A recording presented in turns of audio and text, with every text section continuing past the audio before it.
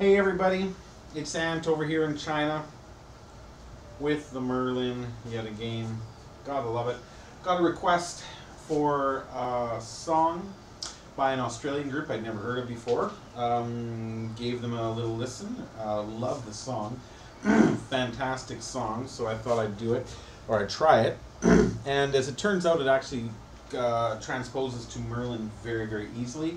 I will make a little how-to tutorial video once I'm done singing the song. So if you want to just hear the song, great.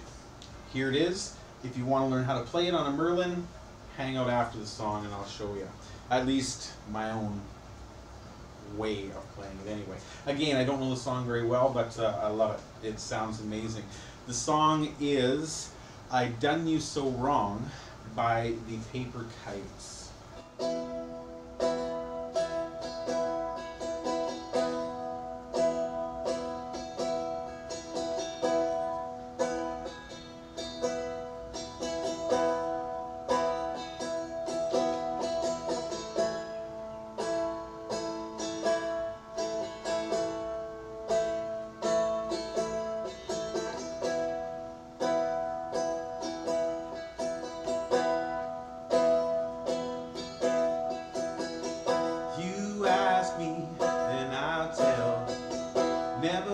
Walked such a desolate hell.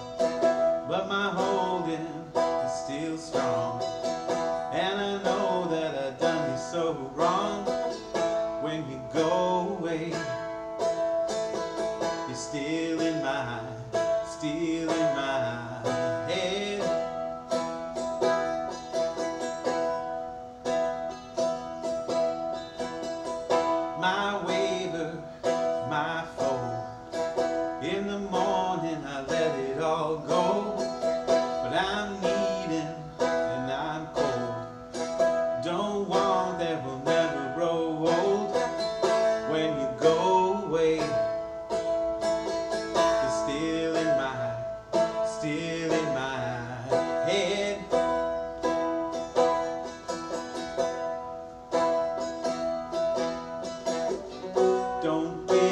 Up, don't give up, weather me.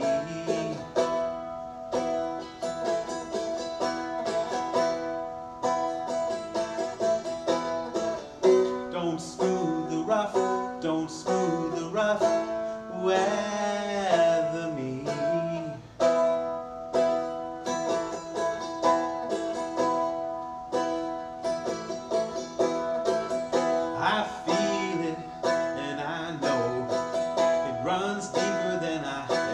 But we walk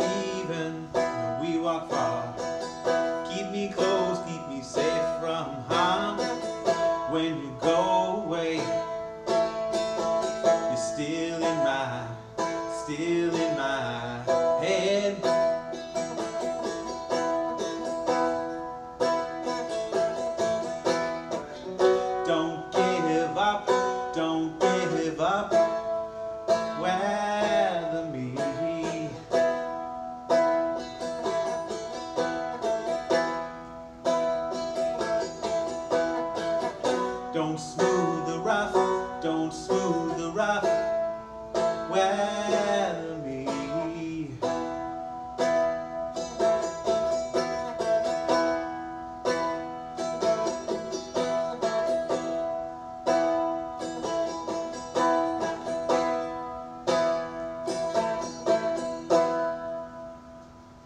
Anyway, something like that. Beautiful song. Listen to the original version by the Paper Kites. It's stunning. It's haunting. It's beautiful. I love it. Anyway, Merlin can't really play a lot of songs. Well, the same songs that you can on a traditional uh, non-pentatonic type instrument like a ukulele or guitar. It's a little different. Um, so it needs some transposing. So I'm going to show you what I did here just to make this easier. Basically, there are three chords that this song needs. You can add a D minor something or other if you really want D sharp minor, but um, I don't think that that little change is necessary. At least the way, the way I heard it, it was all right. So let's take a look at the chords first. All right, let me just make sure I can see what you're seeing. So, three chords, really easy. The uh, main part of the song, the verses, are just E and A. That's it. So E, we play here with a bar, let me get that here, on first fret all strings. That's an E. However, I don't like to play the E in that way, especially not for that for this song, and let me tell you why. When I play an E, I play it on the Merlin the same way I would play a D on a ukulele. Instead of making a bar across all the strings, I will take my pointer finger and bar it across the top two strings, and then take my middle finger and put it onto the bottom two strings. So basically it's the same chord, but instead of barring across on all four strings, I bar two and then use my uh, ring finger, or sorry, my middle finger for the bottom one. Now the reason I do this is it just makes the chord changes that much easier. Now if we're doing it the traditional way and you're barring like this, and then you've got to jump to an A, you've got to actually switch the entire position of your hand, which after practice, I suppose could be very easily done if you're a guitar player, or something like that. But for myself with my fat, short fingers, it's not that great. I prefer to go like this because then I just lift my pointer finger off the middle string and I've got A, E, A, E, A. And in the song there are some parts that kind of go na na na. That's not an accurate tone or anything, but they kind of uh, I'm, I, it's in the tip on the tip of my tongue. Uh, they modulate, they change. So what I do for this song is I will lift between an A and an E very quickly. Let me show you that motion.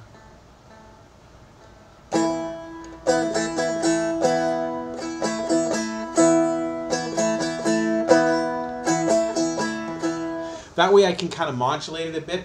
Technically I'm, I'm hitting another A, but I'm going up and down so quickly it's not doesn't sound like an A, it just kind of sounds like a modulation. The modulation isn't necessary. During the chorus I use the modulation. During the verses I do not. I just change the strumming too.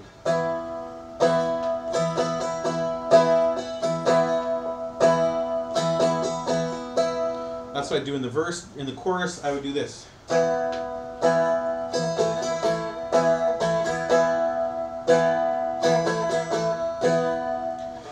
That's that's nice and easy. So basically the verses start off with E. And then after three bars of that, you swap over to A.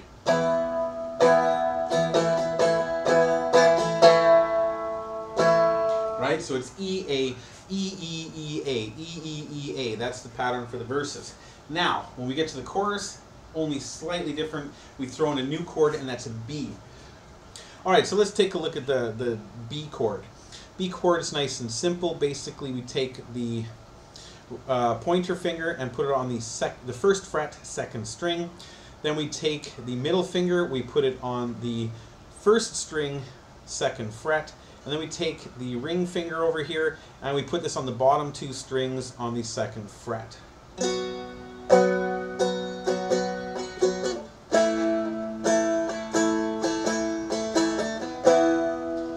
So the chorus consists of B, then A, and then E.